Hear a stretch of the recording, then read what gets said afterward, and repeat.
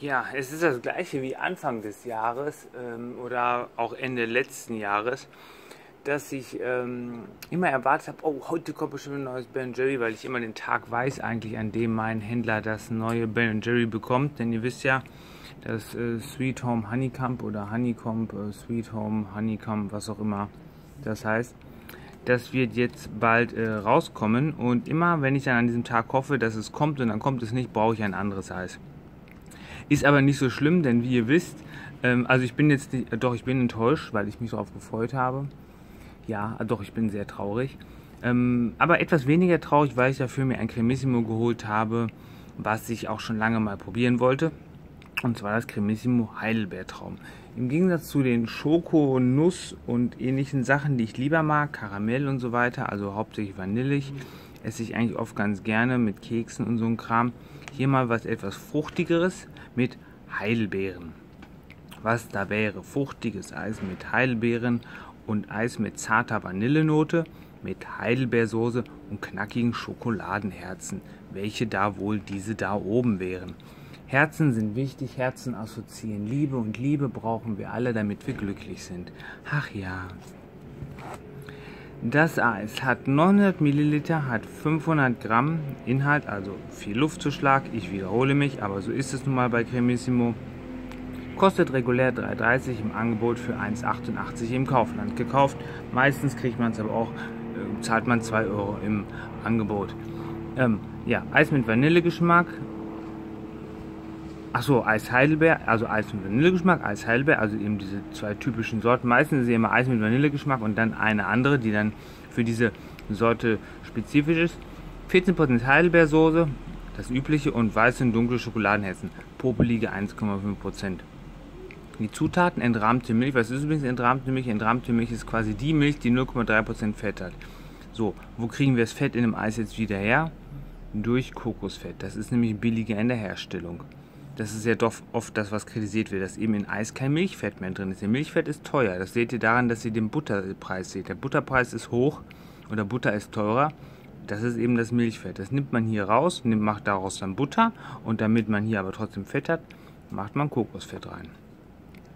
Heidelbeerpüree 3,5%, äh, Heidelbeersaft aus Fruchtsaftkonzentrat. Also insgesamt äh, ja ungefähr 6% Heilbeeren. Kakaobutter für die Schokodinger und so weiter sind auch drin. Gemacht von Unilever. Kalorientechnisch ein etwas niedriger angesiedeltes Cremissimo, was man an dem Fettgehalt von 6,5 Gramm seht. Zuletzt hatte ich das kalte 100, das hatte knapp 9 und das hatte dann auch knapp ja, 210 Kalorien. Kohlenhydrate mit 31 Cremissimo typisch mal wieder etwas höher. Oh, ich habe vergessen hier noch ein Foto von zu machen, falls ich einen Artikel schreibe. So, gemacht. Werde ich jetzt hier mal aufmachen, werde mir ein bisschen was wegnehmen, denn ich habe noch von meinem Geburtstag eine geile Roulade von meiner Mutter und die werde ich gleich genießen.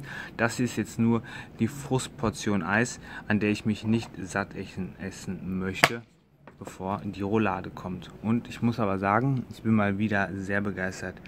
Ich habe neulich eine Diskussion darüber angefangen, wie man das Ganze hier nennen soll.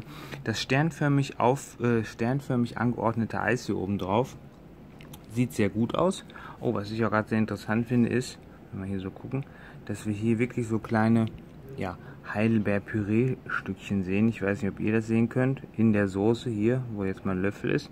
Ist also nicht ganz so ähm, ja, glatt, sage ich jetzt mal. Aber auch Eiskristalle kann man sehen, ne, was an dem Wassergehalt liegt. Aber diese Kombination von dem hellen Eis und dem roten Eis sieht ein bisschen weibisch aus. Nichts gegen Weiber, Weiber sind toll. Aber es sieht halt so ein bisschen weiblich aus, das Eis. Dazu die kleinen Herzchen. Sieht soweit eigentlich ganz nice aus. Gucken, ob es auch nach Blaubeere riecht.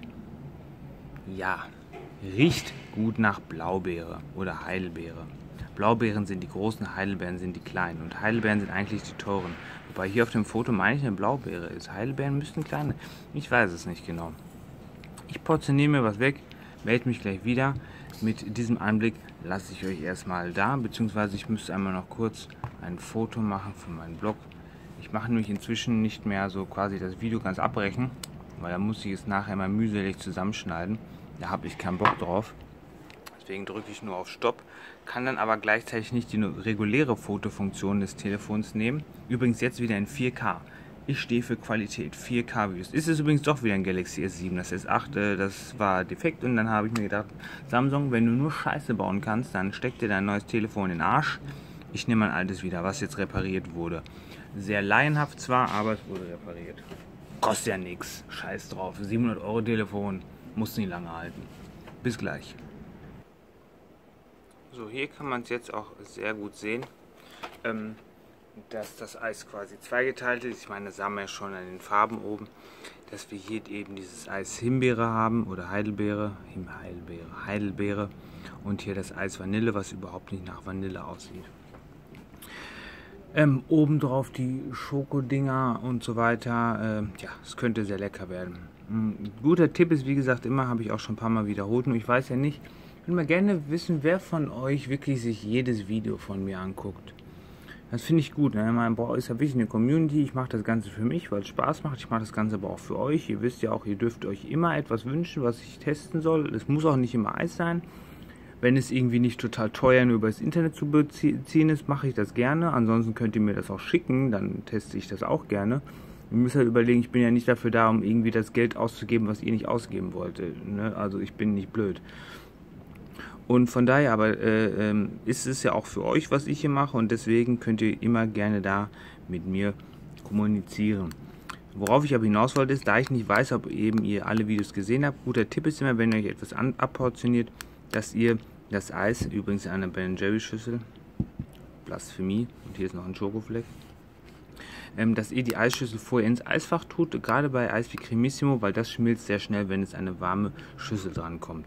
So, will ich aber mir jetzt Eis probieren mal, obwohl es noch nicht so ganz angetaut ist. Deswegen fangen wir hier einfach mal mit den Herzen an. Schmecken ganz bestimmt nicht nach Schokolade.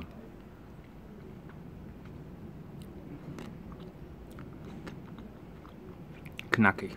Sehr dünne Schokolade, aber natürlich kaum wahrnehmbar. Viel zu klein. Ich überlege jetzt direkt, dass es irgendwie vielleicht geiler gewesen wäre, wenn man Himbeereis genommen hätte. Äh, Joghurteis mit Blaubeere. Das wäre vielleicht so sehr fruchtig gewesen. Wer weiß. So, hier oben, ne, bekanntermaßen taut das recht gut an. Besonders hier am Rand auch. Da wollen wir ein Löffelchen probieren.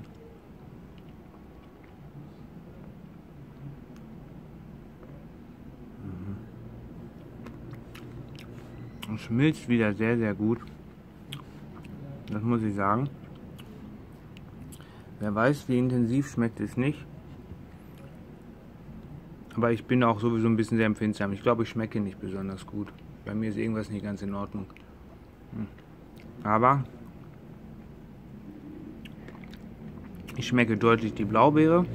Falls ich nochmal Himbeere sage, aus Versehen meine ich Blaubeere. Das Vanille, da könnt ihr mir wirklich mal in den Kommentar schreiben. Also wie gesagt, ich mag sein, dass es Leute gibt, die besser schmecken können als ich. Nein, ich habe keinen Alkoholmissbrauch betrieben oder sonstige Drogen genommen, die meine Geschmacksnerven vielleicht zerstört haben. Ich finde, das Cremissimo Eis schmeckt wirklich fast nie nach Vanille. Außer man kauft wirklich das pure äh, Cremissimo Vanille. Aber ich schreibe mir immer drauf, ja, äh, bei diesen gemischten Sorten, ja, Vanilleeis mit Haselnuss, Vanilleeis mit Schoko, Vanilleeis mit Stracciatella, Vanilleeis mit hier wie Himbeere. Ich finde, das schmeckt nie nach Vanille. Ohne Scheiß. Also,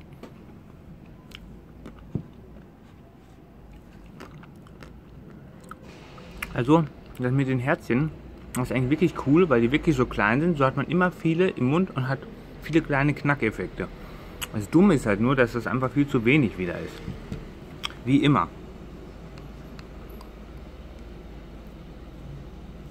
Ich versuche jetzt mal hier mh, mal nur die Vanille zu isolieren.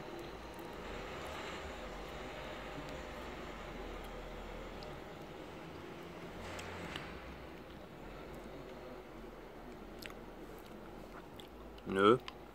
Ich meine nein. Jetzt kommt das Geilste, was ich bei Chemismo immer liebe. Wenn es am Boden etwas angetaut ist, dass man dann hier diesen wunderbaren Schmelz runterkratzen kann. Ah. Oh ja. Lecker. Schmeckt wirklich gut nach Blaubeere so auch. Nicht nach Vanille, aber nach Blaubeere.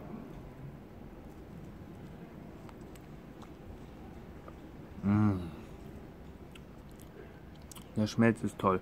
Man sieht jetzt hier auch, dass im Eis diese Soße auch verarbeitet ist. Wobei sie jetzt nicht so soßig flüssig ist, sondern halt eher so, ja, keine Ahnung, gefrorene Soße.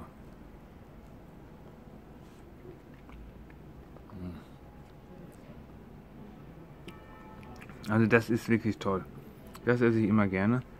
Ich finde auch, wir hätten eigentlich auch ein paar Blaubeeren reinhauen können, oder? Da sieht man nochmal gut was von der Soße. Muss ich mal hier eben. Da, innen drin. Aber so dicke Bunker findet man nicht. Aber schmeckt das Eis. Ist deutlich sommerlicher als andere Chemissimus. Ist halt auch leichter, ne? Sieht man auch ein weniger Fett. Ist aber halt von der Geschmackskomposition natürlich auch ähm, ja, sommerlicher Blaubeere. Ich habe mir jetzt hier noch eine kleine Verbesserung mitgebracht. Für alle, die unter 18 sind. Ich sage euch nicht, was das ist.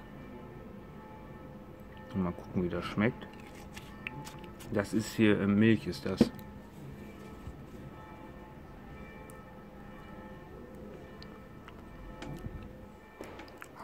Das macht das Eis noch gleich viel besser. Lecker.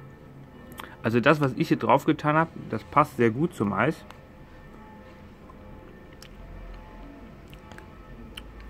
Wobei ich jetzt das natürlich nicht in die Bewertung des Eises einfließen lassen kann und will. Hm. Das Eis schmeckt mir gut. Es schmeckt gut nach Blaubeere. Vanille ist nicht da.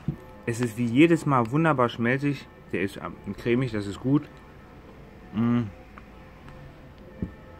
Das Video könnt ihr gleich abbrechen, von daher sage ich jetzt schon mal, bevor ich weiter labere, ich gebe dem Eis eine 3 Plus, glaube ich.